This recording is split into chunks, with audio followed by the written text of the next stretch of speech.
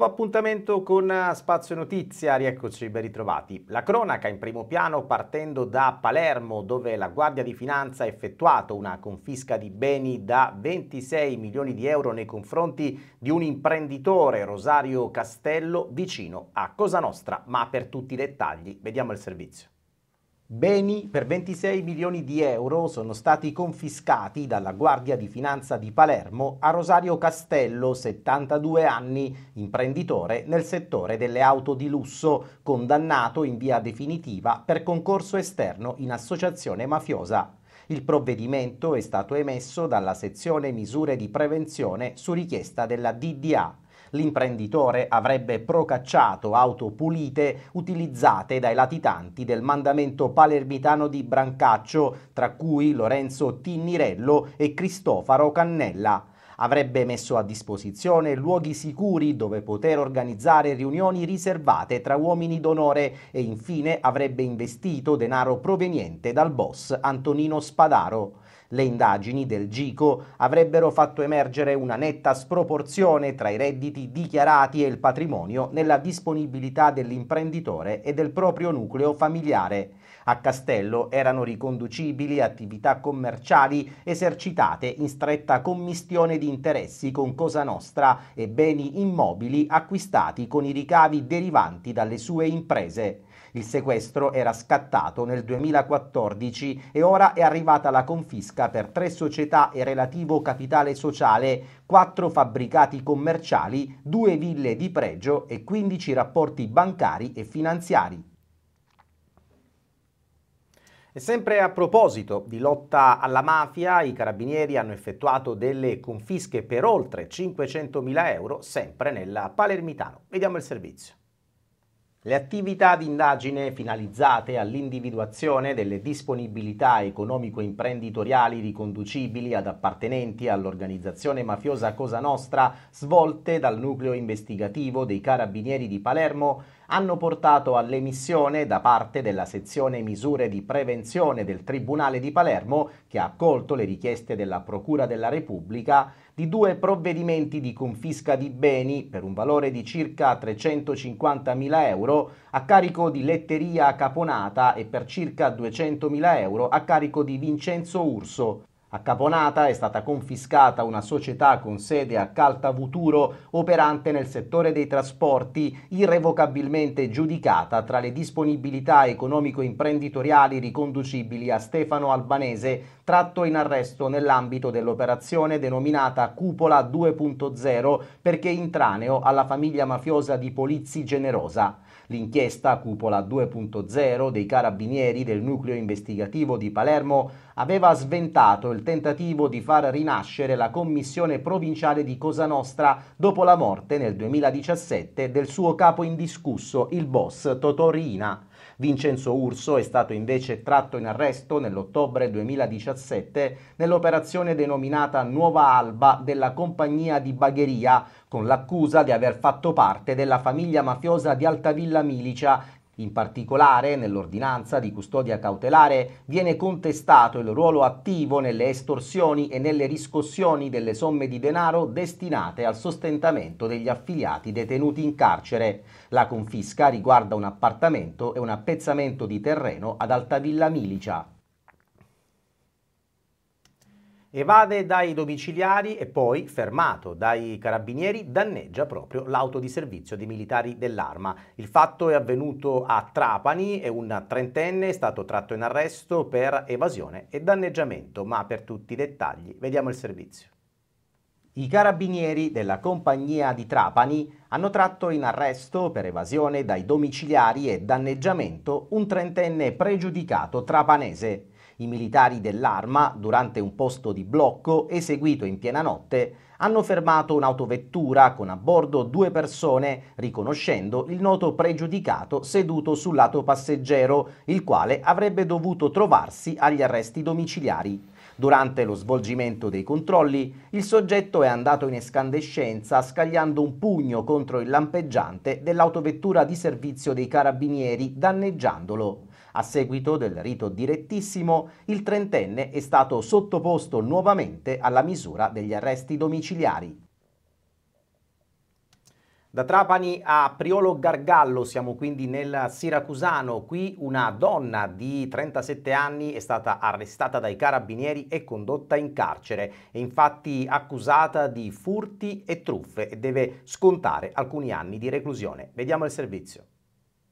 I carabinieri della stazione di Priolo Gargallo hanno tratto in arresto una donna di 37 anni in esecuzione di un provvedimento emesso dalla Procura della Repubblica presso il Tribunale di Biella. La 37enne, infatti, è stata riconosciuta colpevole di associazione per delinquere finalizzata alla commissione di furti e truffe ed è stata condannata a 4 anni e 9 mesi di reclusione. Pertanto l'arrestata, dopo le formalità di rito, è stata associata alla casa circondariale di Messina Gazzi, così come disposto dall'autorità giudiziaria.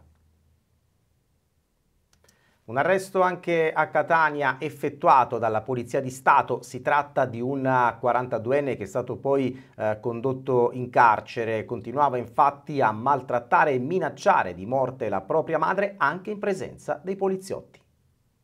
I poliziotti della squadra volante della questura di Catania sono intervenuti in piazza Eroi d'Ungheria presso il commissariato Nesima per la presenza di una donna la quale ha riferito di aver subito un'aggressione da parte del figlio mentre si trovava all'interno della propria abitazione. Ha inoltre raccontato agli agenti di altri interventi effettuati dalle forze dell'ordine sempre per gli stessi motivi. Il figlio della donna, nel corso della giornata, aveva litigato anche con la compagna. Poco tempo dopo, anche il presunto aggressore, un pregiudicato catanese di 42 anni, si è presentato in commissariato insieme proprio alla compagna.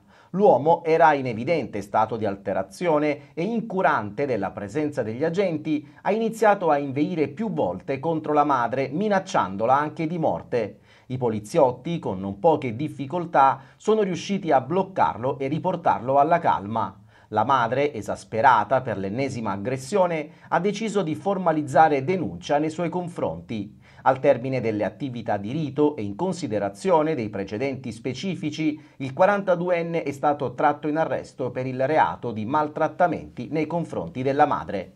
Il PM di turno ha disposto di associare l'arrestato presso la casa circondariale di Piazza Lanza in attesa del giudizio di convalida, all'esito del quale il GIP ha convalidato l'arresto e ha disposto per il soggetto la custodia cautelare in carcere. Restiamo a Catania ma parliamo di spaccio di sostanze stupefacenti con i carabinieri che hanno beccato e tratto in arresto un giovanissimo pusher. Si tratta di un 22enne che i militari hanno trovato in possesso di un chilo di crack e 200 grammi di cocaina. Vediamo tutti i dettagli nel servizio.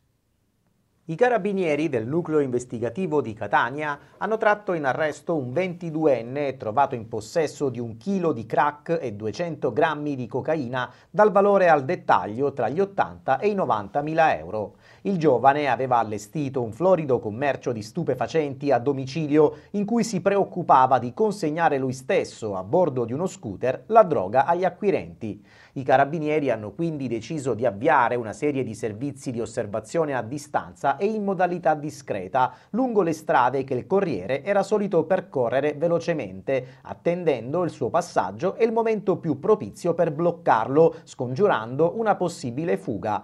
Dopo qualche ora gli investigatori hanno visto arrivare il 22enne alla guida di uno scooter, il quale iniziava a fare avanti e indietro in atteggiamento estremamente vigile. Verificata l'area, il pusher ha parcheggiato il mezzo a due ruote e guardandosi continuamente attorno ha recuperato una busta di plastica dal bauletto dello scooter per poi avviarsi verso il portone di un palazzo. I militari del nucleo investigativo hanno quindi dato via al blitz intervenendo immediatamente prima che il 22 22enne riuscisse a entrare nell'atrio della palazzina. Dentro la busta sono stati recuperati involucri e bustine in cellophane trasparenti e termosaldate contenenti ben un chilo di crack e 200 grammi di cocaina.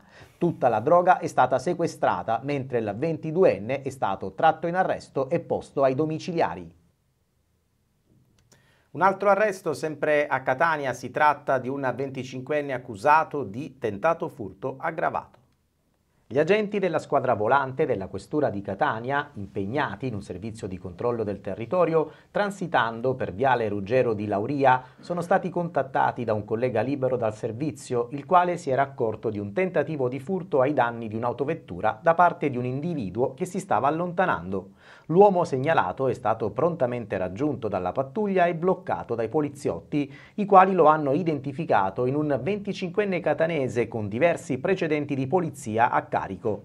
Gli agenti hanno accertato che il giovane aveva infranto il finestrino anteriore destro di un'autovettura parcheggiata nel tentativo di compiere un furto. Nel frattempo è stato rintracciato il proprietario dell'auto che ha presentato una formale querela, consentendo così l'arresto del giovane in quanto gravemente indiziato del reato di tentato furto aggravato.